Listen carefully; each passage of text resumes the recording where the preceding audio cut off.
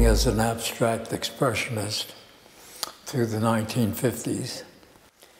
And I did my thesis for various reasons on uh, Marcel Duchamp and Francis Picabia. I became uh, the leading living expert on the work of Francis Picabia and Marcel Duchamp.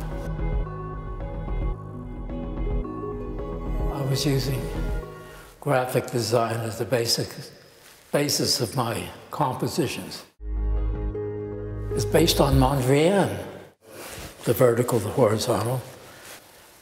And then to that, I added shapes, the cutout shapes of Matisse. Everybody's following the same ideas. Even Picasso is based on those ideas. After I left Mr. Sutnar's employee, I worked at Life magazine. And my basic job was uh, cropping photographs. they had these great photographers. Even if the photographer was Cartier-Bresson, who said his work was never to be cropped. It. the first few years, I had a small studio, and I'd collected all this junk from flea markets, but I didn't use it. I just loved the stuff. And uh, we moved into a big loft. I hired a group of graduate students to help me make the move. And the uh, kids were so tired, they just piled everything up in the front space. And I, the next day when I went in and nobody else was around, there was this big empty room with this stuff piled up. I thought the piles of junk were interesting. and so I recreated piles of junk and had the models take positions next to it. But I became known primarily as a rebel going against all my associates, my generation.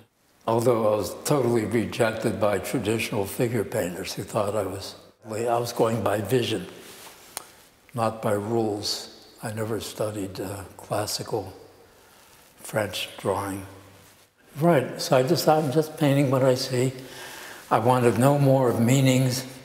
I'd had enough of that studying Duchamp and Picabia and art history.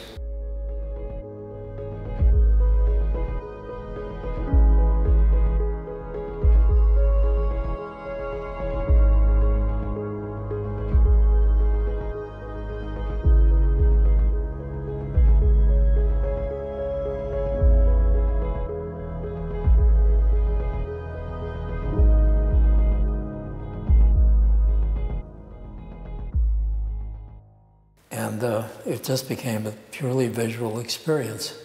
And that's more or less my experience. I'm totally immersed in the visual experience, and there's no meaning, nothing sexual.